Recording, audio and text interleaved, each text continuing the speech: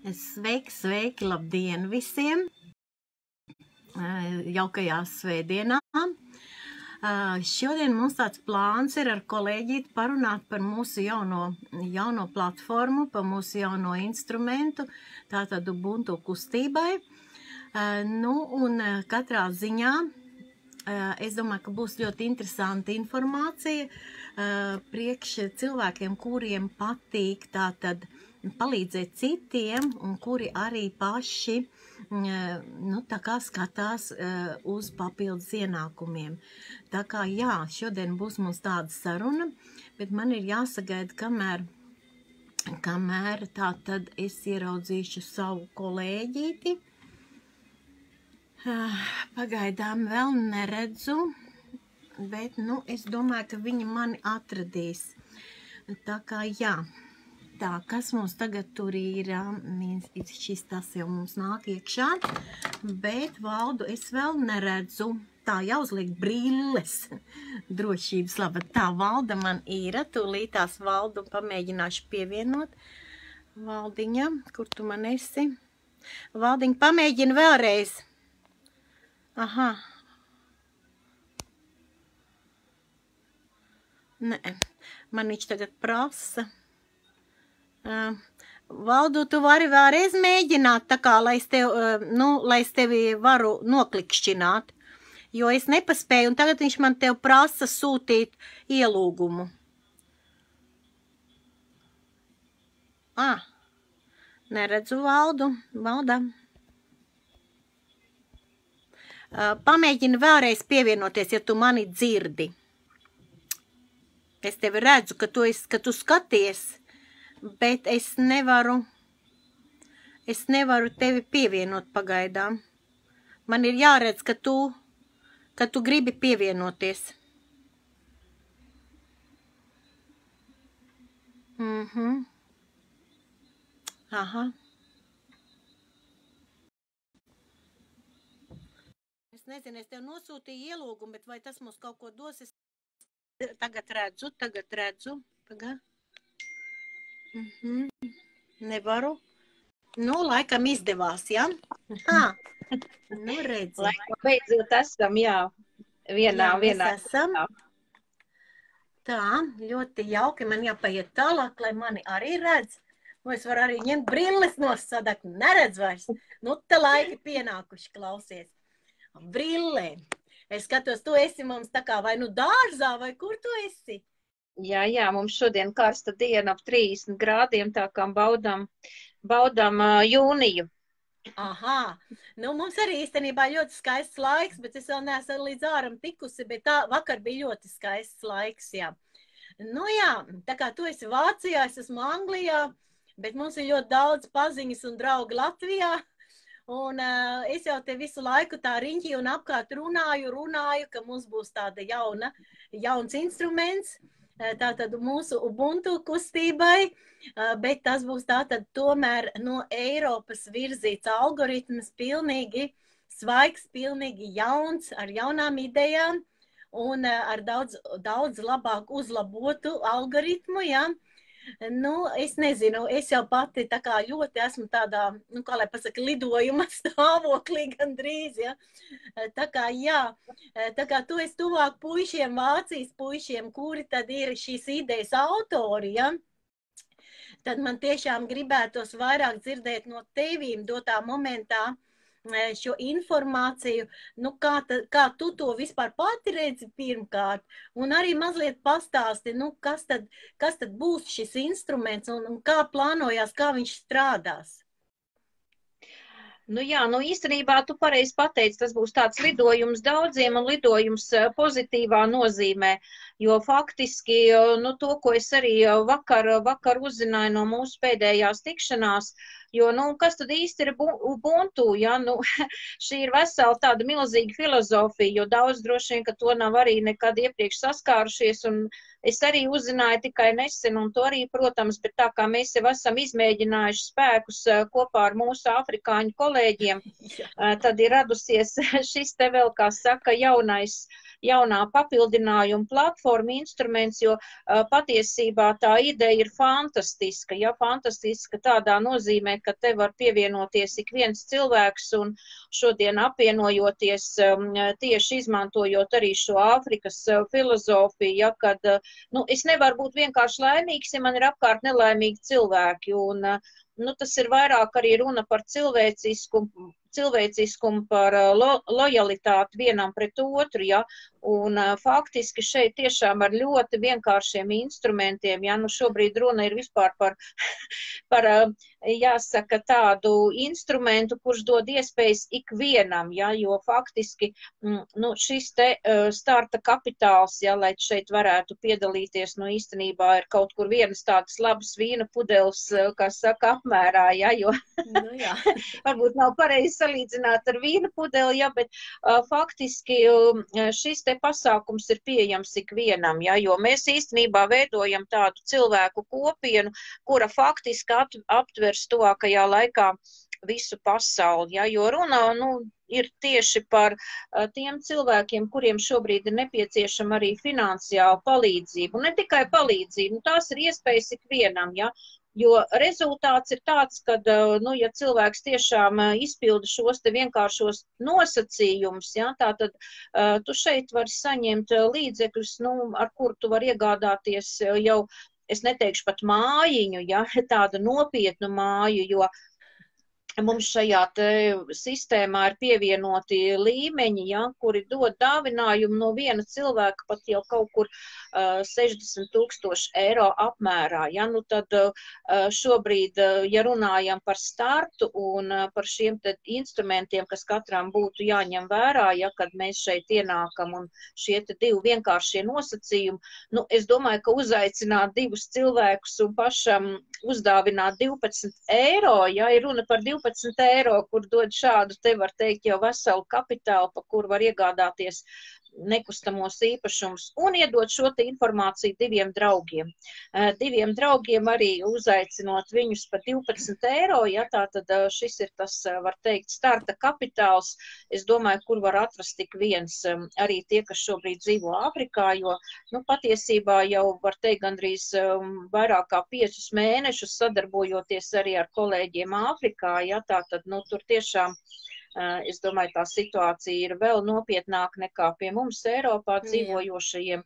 Bet nu, šodien naudu vajag un līdzekļus visiem, ja ņemot vērā to situāciju, kas pat labāk veidojās, ja, un visas inflācijas un, un, un, un vispār, kas notiek, ja, tad uh, laikam jau tas, uh, nu, nekad uh, tāpat vien nekas uh, nenotiek un nenāk, ja, viss ir tad, kad um, īstajā laikā un īstajā vietā, jo fa, uh, faktiski šī te iespēja šobrīd, kas pie mums ir atnākusi, nu, es domāju, ka viņi izmantos ļoti, ļoti daudz cilvēku. Un kāpēc mēs ar tevi šeit divi tā sēžam laivā svētdienas dienu, ja īstenībā puķiņa šivina jau airas laiks. Airu tikai pietrūkst, vai ne? Lājam airas, ja, jo gribās tiešām dot šo informāciju tālāk pēc iespējas lielākam skaitam cilvēku, jo daudzi nezin, ja.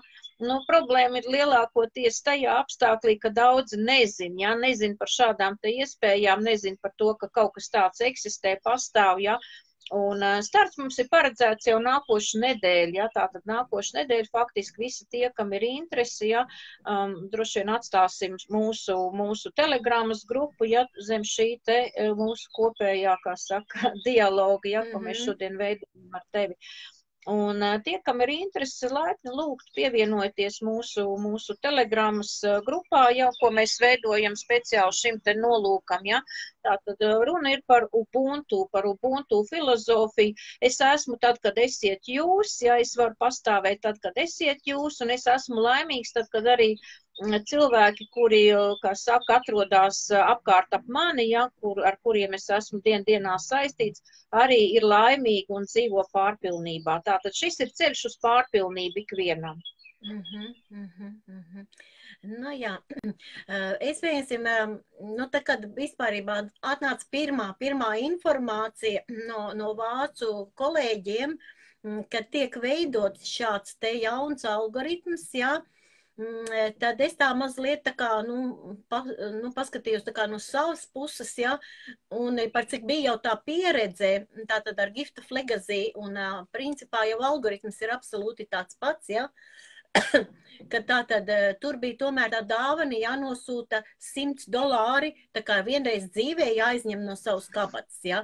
Un eh, es saskāros tiešām reāli ar cilvēkiem, kas saka, jā, es labprāt, bet, nu, man ir eh, mazs bērniņš, es esmu tātad mamma, un man pabalsts ir salīdzinoši mazs, lai es no viņa varētu atļauties tagad 100 dolārus aizsūtīt kādam uzdāvināt, ja. Viņi saka, jā, man, man tas viss ļoti labi patīk. Tāpat tās arī runājot par tiem pašiem pensionāriem, ja, Nu, cik ir mums pensijas, nu, Latvijā pieņemsim, nerunāsim pa Angliju vai Vāciju.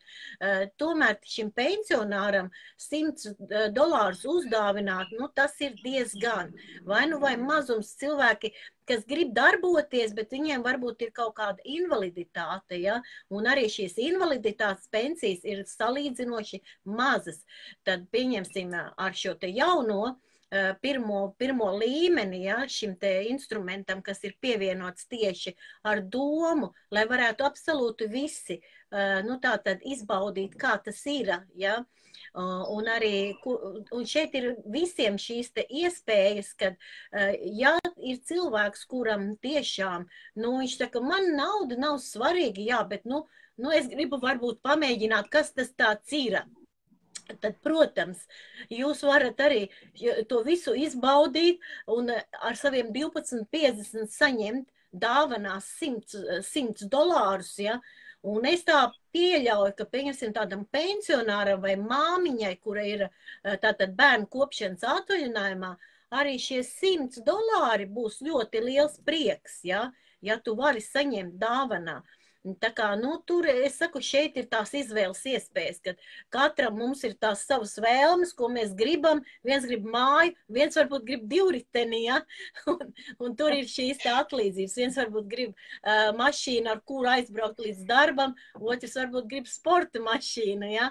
Nu, nu, un tā, līdz ar to mēs paši skatāmies šos te līmeņus, uh, kādos mēs ejam.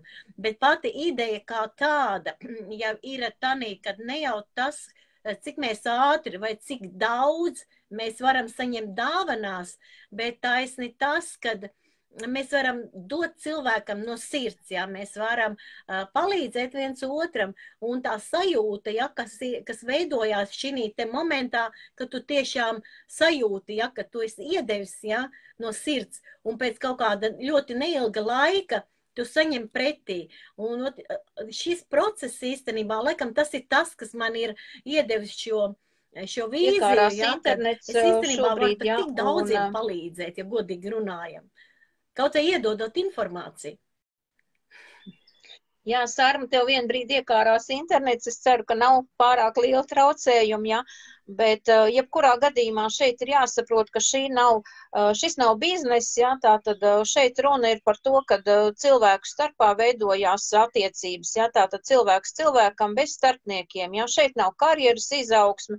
Um, šeit dāvans uh, katrs saņem tieši sev vēlamajā, kā saka, kontā, vai tas ir bankas konts vai kāds maciņš, ja, tā kā šobrīd interneta, interneta maksājumi ir dažādi, ja es domāju, ka uh, katram ir vairākas iespējas, ja tā kā šeit katrs izvēlās, izvēlās pēc uh, savām, saviem ieskatiem, ja, jo tas arī būtībā ir ļoti svarīgi, ja, jo šeit mēs nerunājam par biznesu, par kompānijām, par prezidentiem, ja, tā tad šī ir tīri tāda, kā saka, sociāla kustība, kurā cilvēki viens ar otru apvienojās, lai dotu dāvanas un dāvanu veidā uh, sasniegtu katrs savus, uh, kā saka, realizētu savus sapņus, vēlmes un nu, vienkārši uzlabot arī Jā. sev un, un citiem uh, sadzīves apstākļus. Ja? Tātad, nu, faktiski runa ir par par uh, maksimāli minimāliem līdzekļiem, ar kuriem var sasniegt maksimāli lielus rezultātus. Nu, tie, kas sadzirdēs, tie, protams, tie, protams izde, izbaudīs šo te, kā saka, gan dāvinājumu, gan dāvanu došanas prieku, ja, un, protams, iegūs arī daudz, daudz jaunus draugus un paziņas. Mm -hmm, mm -hmm. Nu, es domāju, ka jā, ka mm, šodien mēs daudz un gari nerunāsim, jebkurā gadījumā jo mums pirmkārt ir jāsagaida, kad tiešām atvērsies šis jaunais algoritms, jā, un, nu, noteikti tiklīdz būs pirmās, pirmie iespaidi, tiklīdz būs pirmie rezultāti, tad mēs noteikti atkal sanāksim kopā un pastāstīsim, nu, kā tad, kā tad īstenībā iet tajā visā nākošajā līmenī, ja, ko mēs varam cilvēkiem atkal piedāvāt. Tā kā jā, nu, jā paldies, tev ļoti jauku jā. svētdienu, mīļā. Es skatos, tu tur tā kā puķi tajā savā balkonā sēdi. jā. Nu, jā, es domāju, ka uh, mēs tiksimies uh, turpmāk biežāk. Jā, apsolam jums dot uh, šo informāciju, informāciju arī par rezultātiem. Jā, mums jau ir diezgan nopietna latviešu valodā runājošo kopiena pat labāk, jā, kura veidojās jā. un kura arī paplašinās. Jā, tā kā, nu, es domāju, ka um, šī, būs, šī būs vajadzīga informācija daudziem. Jā, un, protams, ja ir jautājumi arī zem video eh, varat uzdot eh, šos te jautājumus, mm -hmm. mums mēs centīsimies pēc iespējas atbildēt. Tā nu kā nu jā, vai nu arī tiešām par... rakstat personīgi, eh, ieliksim linku uz Telegram grupu kanālu, kur jūs varēsiet arī redzēt jaunākās informācijas tiem, protams, kam ir interese par šādu veidu kustību. Ja? Tā kā jā, Valda, liels paldies, ka tu pievienojies man. Nu, un es arī ar nepacietību gaidu nākošo nedēļu. Tā kā jā, šodien vēl ar Āfriku jāsazvanās, jo, lai cik tas nebūtu interesanti, visu laiku Āfrika tā kā nāca uz mūsu pusi, tagad mēs ejam atpakaļ, tā es kā smējos viņai, būs jums konkurence tagad, būs interesantāk darboties, ja. Tā kā jā, nu, ka, es domāju, ka jānovēl visiem ir ļoti jauku, patīkamu svētdienu, atpūšaties, relaksējieties, izbaudat šo dienu noskaņojieties jaunai darba nedēļai un gaidat mūs atkal ar jaunām ziņām katrā ziņā. Paldies tev, tev arī foršu svētdienu. Atā! Atā, atā!